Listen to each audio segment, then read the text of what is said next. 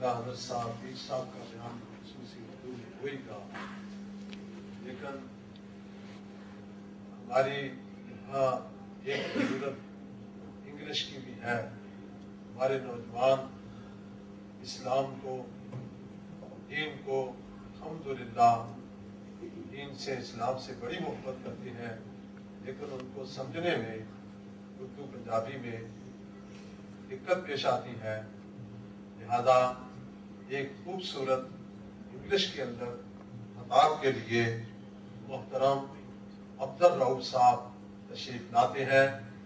وہ انگلش کے اندر اپنے ذیشان خطاب سے نوجوانوں کو بالکل یا رسول اللہ وعلى آلك وصحبك یا نبی اللہ السلام علیکم ورحمت اللہ وبرکاتہ to everyone. First of all, I would like to congratulate all of you who are here because of the presence of the great Sheikh of Sindh, great saint from the valley of Sindh, Hazrat Muhammad Tahir Naqshbandi Mahboob Sajjan Saeen Damat Bakatum Aliya. I would like to say a few words that I, talk, uh, that I learned yesterday from my Sheikh. And these words are that why do we need to sit in the company of Sheikh? Why do we need a Sheikh? Why do we need to go in the company of Salihin, of the, of the pious people?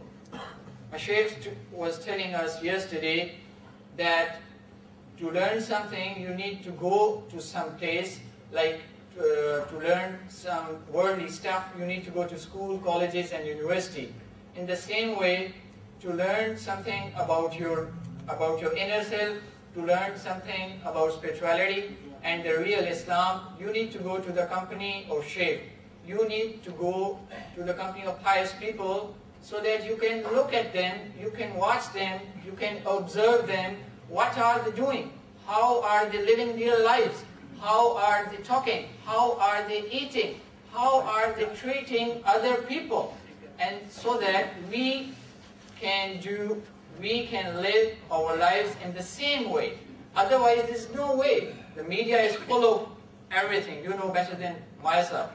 So, to learn the real Islam, to learn about real practices of Salihin or far, of, of our elders, we need to go to the company of company of the Murshid, company of those people who have spent their lives in the uh, of uh, Sheikh. The last thing I would like to say is that our Sheikh concentrates, he emphasizes us always, even if we are in his company for the last 10 years, every time we'll meet him, he'll, he'll guide us that we should concentrate on our heart. We should do zikr kalbi. We should remember Allah by our heart 24 hours a day.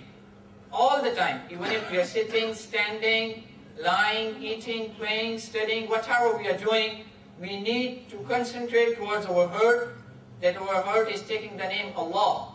And this, this ismizar, this blessing, this wadifa, this is given by our Shaykh.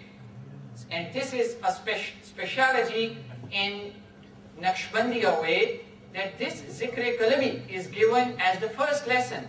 Other lessons, the four, the four famous ones, Suhrawardiya, Chishtiya, Qadriya, these three, there people also get zikr kalabi. There people get also the lesson for the heart. But subhanAllah, the beauty of Naqshbandiya Silsila is that we, the Salikin, the students of spirituality, we get this beautiful and the most important zikr, most important lesson